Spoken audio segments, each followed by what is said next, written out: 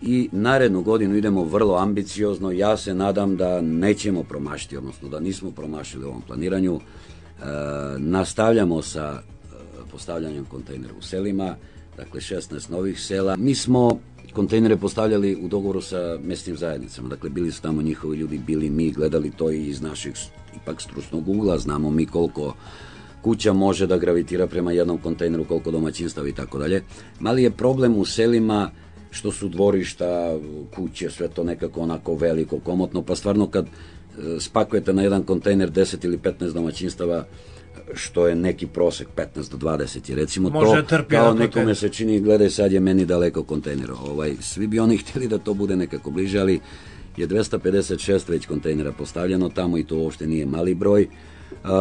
gdje ima baš problema, gdje uočimo, mi dodamo, malo, malo nam je kraj godine pa nam je mali problem pošto mi kontejnere možemo kupovati isključivo ako su ušli u plan i u program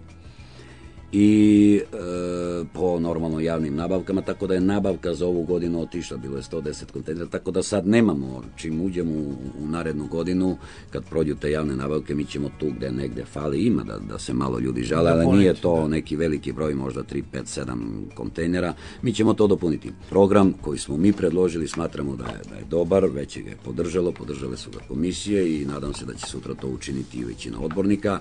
Kroz ovaj program, kažem, nastavili smo sa našim daljim razvojem i tih aktivnosti na iznošenju smeća, dakle 16 novih sela,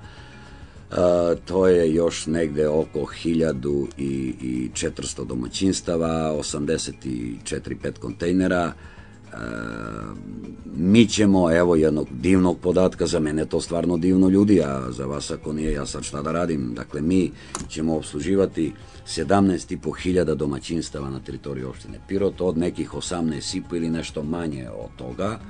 što je 95% pokrivenosti teritorije. Biće e, investicija od nekih 30 miliona, što uopšte nije malo ni za neko dobro vreme, a kamoli za ova najavljena loša vremena. Nadam se da, da nismo promašili. Nismo do sad, pa valjda, valjda nećemo. Pa sve ostalo, sve ostalo će se raditi normalno Zeleni kao i do sada. parkovi, samo ćemo probati da, da to bude na nekom boljem nivou, na, na, na boljem nivou organizacije.